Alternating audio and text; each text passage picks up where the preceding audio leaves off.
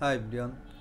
In today's video I am going to show you how to download and install Zoom app in your Windows 10 laptop or PC. The method is very simple just go to Microsoft Store.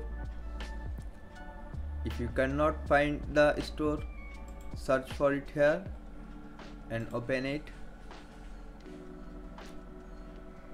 This is a trusted site for download and install original legal app. Now search for Zoom here. Here is our app Zoom Cloud Meetings.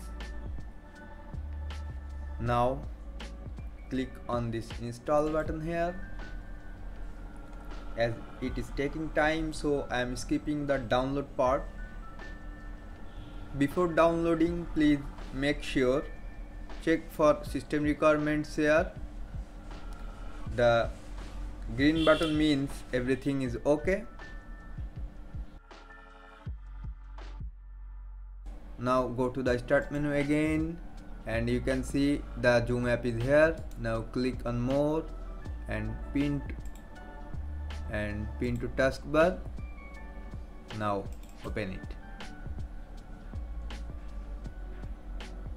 Now sign it with your information. That's it for today. Thanks for watching and please don't forget to subscribe